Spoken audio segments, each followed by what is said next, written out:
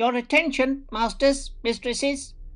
All systems functional for the Everything Geek podcast. Hey, this is Rich McDonald, and I play Commander David Mason on Call of Duty Black Ops 2. And you're listening to Everything Geek podcast. It's James Arnold Taylor, the voice of Obi Wan Kenobi and Master Plo Koon in Star Wars The Clone Wars, and you're listening to Everything Geek, the podcast. Hey, it's Leif Gantvoort. I played Uncle Ben's killer in The Amazing Spider Man, and you're listening to the Everything Geek podcast. Hello, I'm Simon Fisher-Becker. You probably know me better as Dorian Maldovar from Doctor Who, or the Fat Friar from Harry Potter.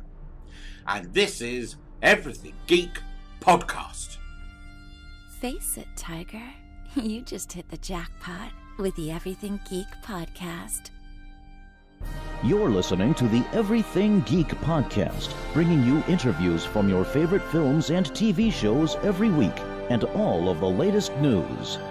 Here's your host, Ruari Williamson.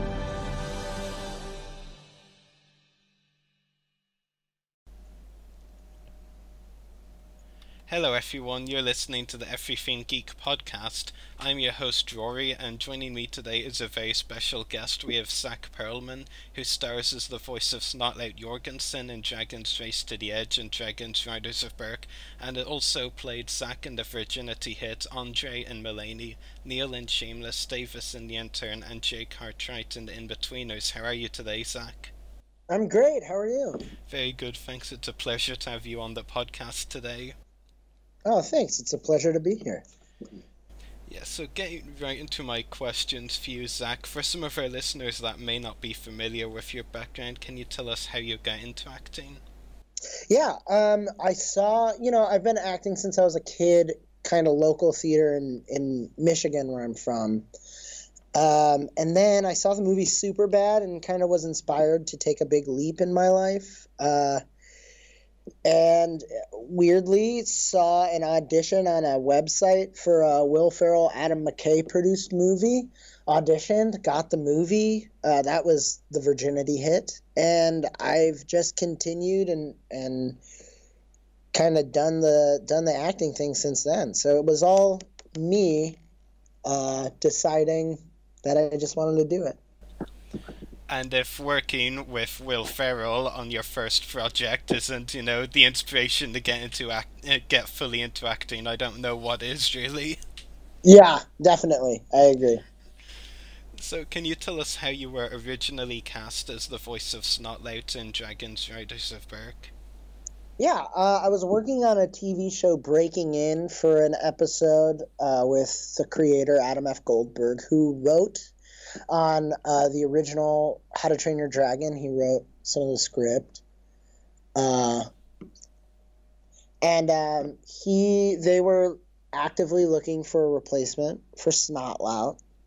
And it kind of just happened organically that he was like, "Oh, you know, you kind of sound like Jonah," and I was like, "Oh, okay." And uh, originally, I thought I was because it was a replacement, but they didn't tell me who.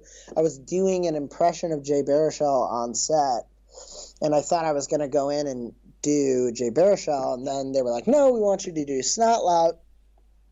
And uh, you know, at first I was a little nervous, being that I had a kinship to Jonah Hill. I like loved his acting, and uh, I was uh, a short, little, portly dude.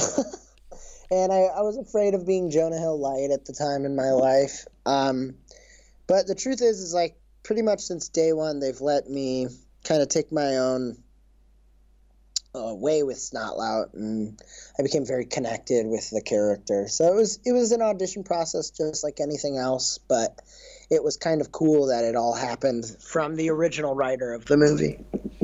Yeah, absolutely. And I mean, that's the tricky thing, isn't it, as well? You know, replacing another actor because you're kind of like, should I try and sound a bit like him? But then it can sometimes just sound like you're doing an impression of them. Whereas Yeah. in some cases, it's better if you kind of do your own take on the character, if that makes sense. Totally.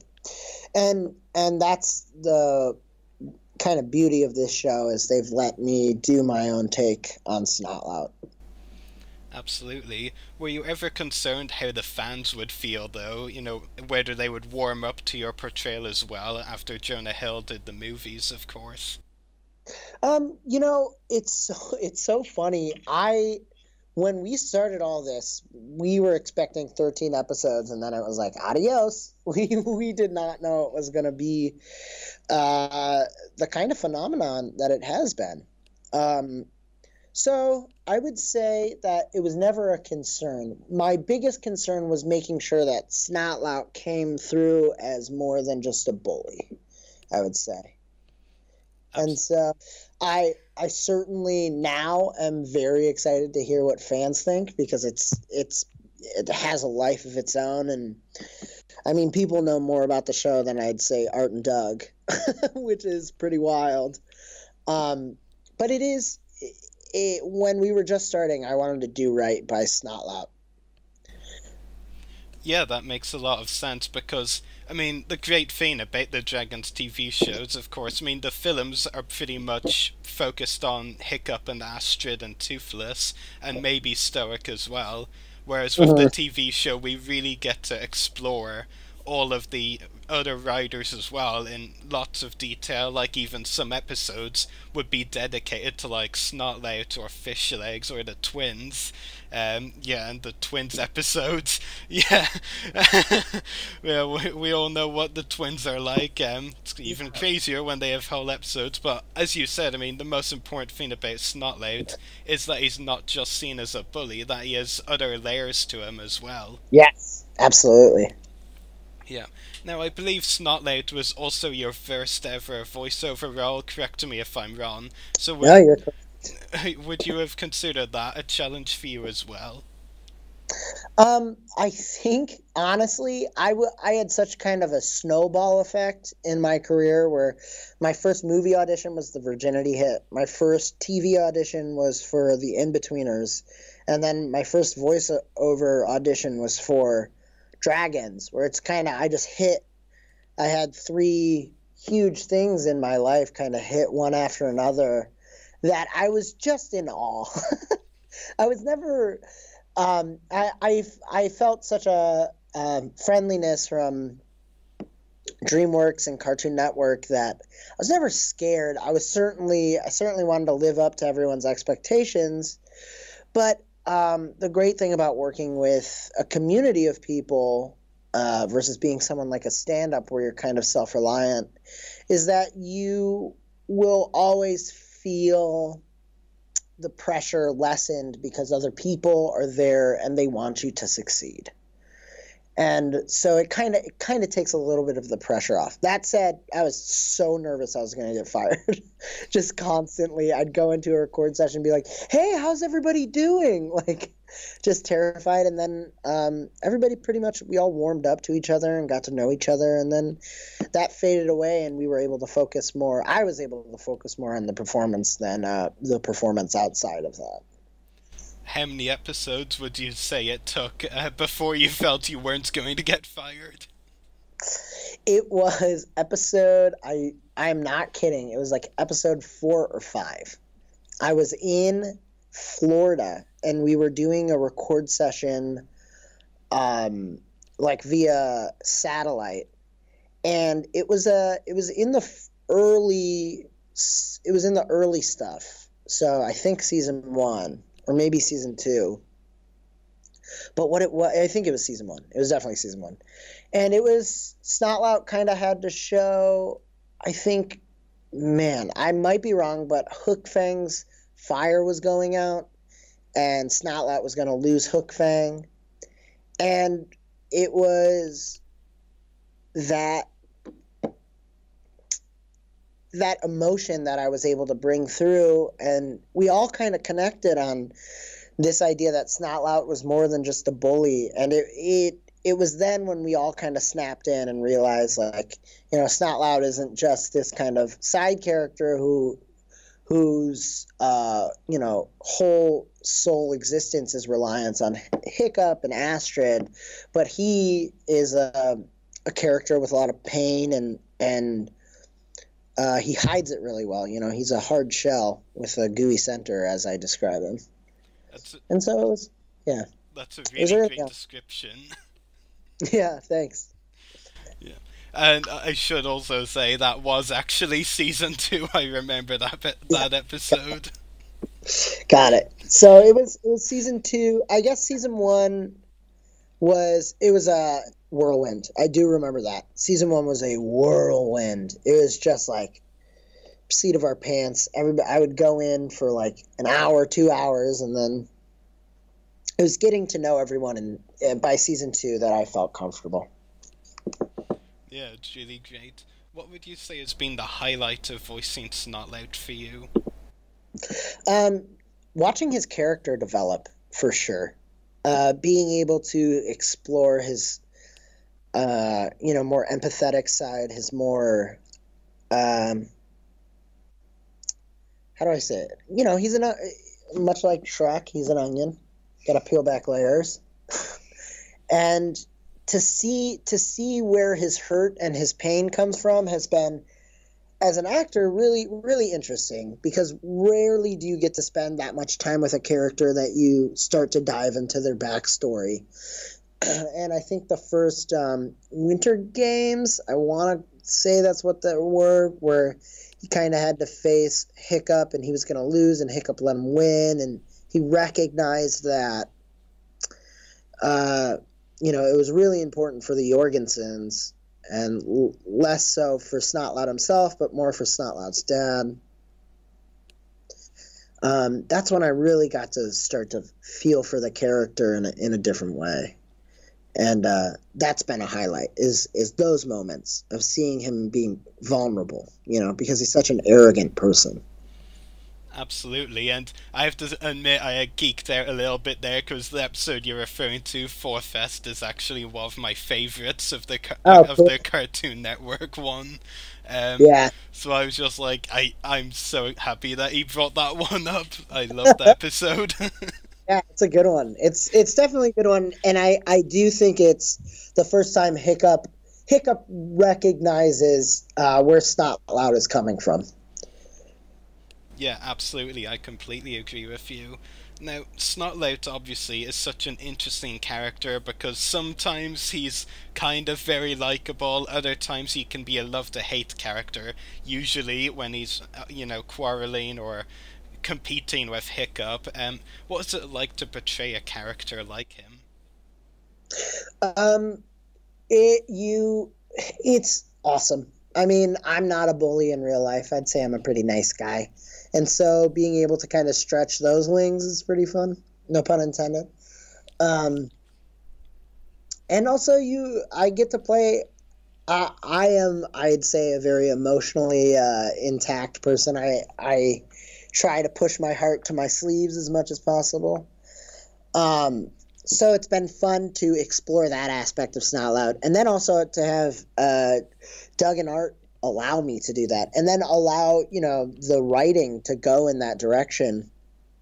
Rarely do you meet producers who are so invested in in characters like that.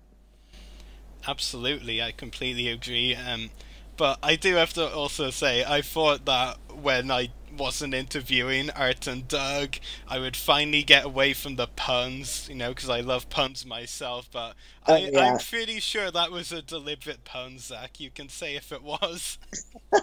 You know it. It. I'm looking at a giant uh, picture of Toothless right now, so I can't say that it didn't cross my mind. Yeah. yeah, let's just say Art and Doug had a good influence on you. yeah. Oh yeah. Those guys are uh, uncles for sure. they are full of dad jokes. Yeah, for sure. Um, speaking of Art and Doug, of course, we've had them on our podcast a couple of times, and they've mentioned that the cast, particularly T.J. Miller, who of course voices Tuffnut, are great at improvising lines and coming up with something that wasn't in the script. Um, so I wanted to ask you, considering you're one of the leads on the show, of course, can you think of any memorable lines that you improvised for Snotlout during recording that wasn't in the original script? Yeah, I mean, it's every episode they they'd let me when Snotlout became the king of you're you're gonna have to help me with the details. because I'm not a detail oriented person. But when he was to marry, um, her name starts with an A, I think. Astrid. No, no, not Astrid. no, yeah, no. why am I thinking of Astrid? Okay, who else starts with Uh, A? Let me think on It, this. it might not be an A. She. It was like when. Uh, oh, you know what? The musical, the musical episode, they let me improvise some of the songs, um, and they let me kind of. They let me improvise all the time. It's kind of fun. That's like, the fun thing is like I know Snotlout so well that I and and Art and Doug do too. That when we come up with an idea we'll just riff on it for five minutes because we're having so much fun. Um, I'm trying to think specifically what a great. Um, oh, the what's the episode where Snotlout was like basically drunk the whole time? that that whole episode was pretty much improvised. Oh yeah, it was sleep deprived. Yeah, we were all that's the one. deprived. Yeah. Yeah. Oh wow. Yeah. I, yeah. I Yeah, can't believe that- I that finally so remembered. Uh, that one was so much fun because truly that is like we I got to improvise pretty much that whole episode. Just being silly as silly as possible in a character that is usually so uh, you know, straightforward and mean. He got to be such a goofball. Uh, and I am a goofball, so that was definitely me bringing myself into Snotlout. I'm sure a every Dragons fan would like to know this. Which would you say is your favorite dragon in the How to Train Your Dragon franchise? I would be remiss to not say uh, um, my little nightmare. I think there is no Snotlout without Hookfang, and there's no Zack Pearlman without Hookfang. So I have to say Hookfang, but in I don't know, it's Hookfang or Toothless. Like the truth is, is I have cats, and so Toothless to me is he is like a cat dragon, but uh, I've said this before. There's a yin and yang thing going on with Snotlout and Hookfang. So I gotta say Hooky, man. I gotta say it. That's a really great answer. Now, for any of our listeners that haven't already started uh, watching the fifth season of Dragons, are there any dragons in the fifth season you think fans should be excited about? Oh yeah, I think I think we're because we're all growing up, we're getting a little bit uh, crazier dragons, uh, and because you know we're we are uh, we're starting to explore the world. Um, so there's the Sandbuster, which uh, leads Hiccup and I to a pretty cool place. Uh, and then I love the Slitherwings because of what they remind me of, which is those little scary dragon or little scary dinosaurs from Jurassic Park 2 at the beginning of the movie. Nice. and, you know, with How to Train Your Dragon, I've noticed both in the movies and even in the TV show, there's a number of uh, geek references like that, so I half wonder if uh, those dragons were actually intended to be like the dinosaurs. I mean, maybe they just, re- maybe you're just reminded of them, but maybe that was actually intentional. I mean, who knows at this point? I wouldn't I wouldn't put uh, put it past Art and Doug to do something exciting like that. Like because we we tend to mix uh, we mix in things from uh, this world into the world of Berk constantly. So you know, I can't say for sure, but they certainly reminded me of that. Absolutely, and uh, it's actually funny that we talk about that because I've always been convinced that Heather's double axe uh, is meant to be like Darth Maul's lightsaber from Star Wars. Oh Uh, yeah, totally. no, no one has convinced me otherwise. Not that anyone has tried to, but something I like to believe. So I completely get where you're coming from with the dinosaurs. Oh yeah, and there's uh there's references all over the place. For sure. Vanaheim, for example. Absolutely. now, for the fans who haven't started watching the fifth season yet, what do you think fans can look forward to the most in the new season? Um, you start to well, first you get the like uh, you understand who's behind the dragon hunters, which is pretty wild. Um, And then I would also say you get to see these characters grow even more. And we're getting to uh, the beginning of the second movie, I believe, right? Yeah. We're getting to the beginning of the second movie. So you are starting to see these characters understand consequence uh, for what they've done and kind of, you know, they've been dragon riding and they were the first to do it, but now it's everywhere. And they're having to deal with it in a way that uh, they didn't really expect, I would say. So you get to see more growth in, the, in these characters that I think we've all kind of grown up with. Absolutely, for sure. That's a really great answer. Um, which would you say? Now I know you've done a number of different projects, and some of them, have, of course, a lot of you know on-camera stuff as well. You've done. Um, mm-hmm. Which would you say has been the most challenging role in your career so far? Well, uh, you might know of the UK Inbetweeners.